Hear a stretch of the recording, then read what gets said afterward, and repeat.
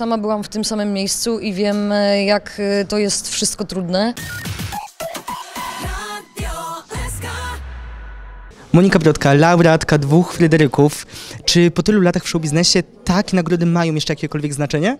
Oczywiście, że mają znaczenie, ponieważ e, każda jest za inny projekt, za inną płytę, za inny rok naszej pracy, więc jak ja pracowałam bardzo ciężko w zeszłym roku i cieszę się, że zostałam za to doceniona e, i za działalność muzyczną, i za wizualną, więc to jest dla mnie super wyróżnienie. A jak dla Ciebie jako właśnie artystki ważna jest ta strona wizualna? Bo rok temu też odbierałaś statuetkę. Odbierałaś kiedyś statuetkę za reżyserię teledysku Krzysztofa Zalewskiego, więc rozumiem, że to jest dla Ciebie bardzo istotne. To jest dla mnie istotne i może ktoś w końcu zacznie traktować moją e, reżyserię poważnie, bo dostałam trzy statuetki pod rząd i to mi się należy. W tym roku jesteś wyróżniona za projekt Sadza. Powiedziałaś, że jest to płyta, która wylała się z Ciebie, która opowiada o Tobie najwięcej. Bardzo podoba mi się jedno takie porównanie, które przeczytałem w którejś z recenzji, że jest jak operacja na otwartym sercu Brodki. Dzisiaj występowałaś dwukrotnie i zastanawiam się, czy kiedy śpiewa się utwory tak mroczne, tak trudne i tak osobiste, czy to jest właśnie jeszcze większe wyzwanie?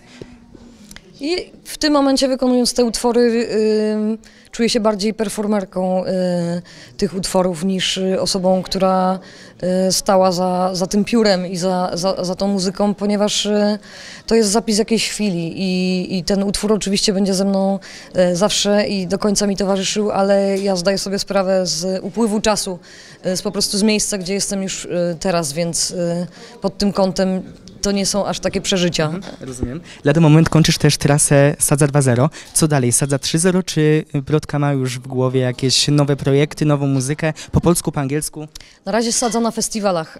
Y, Zaczynamy koncerty plenerowe i będzie nas dużo i będziemy jeździć przynajmniej do września, a później y, zabieram się za urlop. Należy się, no po dwóch erach, rok po roku. Chciałbym też zauważyć, że e, pewnie niewiele osób już o tym pamięta, natomiast w tym roku dokładnie wypada 20 lat, kiedy ty właściwie zaistniałaś w Idolu.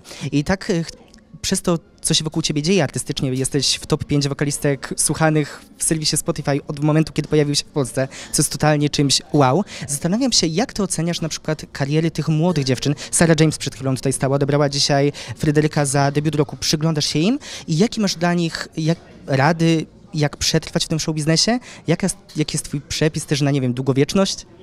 Wow, strasznie dużo pytań w jednym. Y, Jak ja oceniam, nie oceniam, ponieważ sama byłam w tym samym miejscu i wiem, y, jak y, to jest wszystko trudne. Dwa, kibicuję wszystkim dziewczynom śpiewającym w tym kraju, ponieważ czuję się z nimi solidarna i, i to jest ogromna robota, którą wykonujemy.